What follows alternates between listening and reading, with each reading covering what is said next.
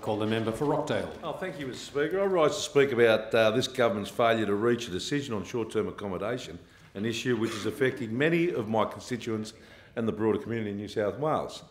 Despite three long years of inquiries, option papers, cabinet meetings, committees, widespread public debate and now botched Liberal Party room meeting, still no action has been taken on this important public policy issue. Mr Speaker, people on the streets of Rockdale are asking me why this government which is happy to wipe out the taxi industry. Thousands of taxi drivers and taxi plate owners overnight through the introduction of Uber has been entirely unwilling to make a decision on home sharing. When small investors and retirees stand to lose hundreds of thousands of dollars each, often from their only investment which they thought was backed by the government, there was no hesitation from those opposite to wipe out an existing industry. I can't imagine what the difference is between the small investors who make up the taxi industry and the massive hotel industry and its lobby. But I have a feeling that the New South Wales Taxi Council should have been employing Premier State as its lobbyist, as the hotel lobby does.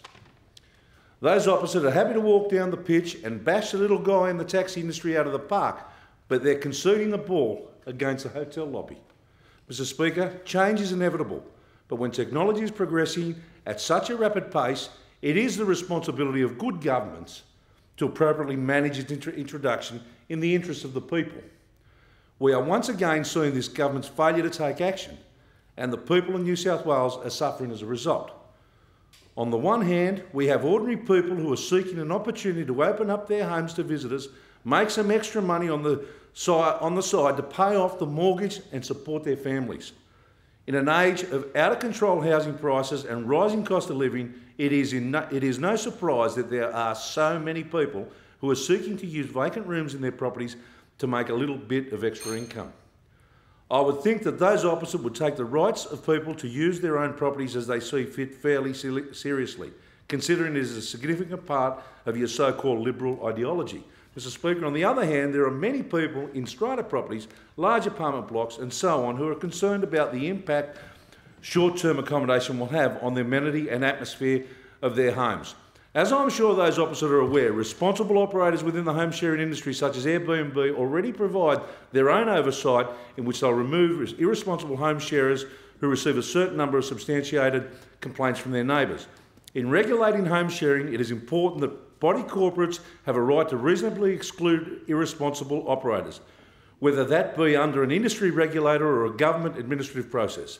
However, I strongly believe that we should only be stamping out bad behaviour, not interfering with the right for people to use their homes as they see fit, particularly when this involves small operators seeking to take a very tiny slice of the massive accommodation industry. Mr Speaker, those opposite are happy to smash apart the mums and dads and low-paid workers of the taxi industry but there's a different rule when it comes to their mates in the big end of town. It's very clear that the New South Wales Liberal Party has been captured by the hotel lobby and are all too happy to uh, disregard. the member, the member, uh, just to remind you, you that private member statements should not contain attacks on the government about general state issues and uh, should relate to uh, your uh, electorate. You've mentioned your constituents once yes, yes, to, date. It, yeah. Mr. Speaker, I refer to Speaker Evans in, in public issues in the public domain on the 24th of the 5th, 18. Uh, just yeah, mentioned it once. Yes. Okay, thank you. It's very clear that the New South Wales, this is a real issue within my, I've got many constituents that are coming up to me on a regular basis on this issue. Yeah, it's very clear that the New South Wales Liberal Party has been captured by the hotel lobby and are all too happy to disregard the, small, disregard the small home, home sharers who are making a few thousand dollars a year by sharing their residence in favour of major hotel chains who are crying poor and holding an irrational fear of any sort of disruptive competition. Mr Speaker, as the residential development industry contracts, we know that historically we've seen more stock devoted to service apartments.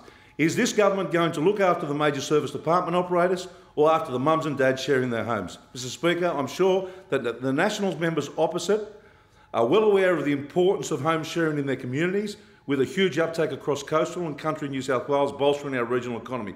This is yet another case where the senior coalition partner is looking after their big city hotel mates while the Nats stand by and let the region suffer. Mr Speaker, the government doesn't uh, understand innovation, they don't understand industry and they're incapable of making a decision. They've botched the rollout of ride sharing, they've botched White Bay, we've lost Google yet again, and now they're unwilling to take action on action while, while, while those options remain beholden to old world oligopolies We will never be able to move forward on these issues in a way that benefits our society as a whole. I had to rush it.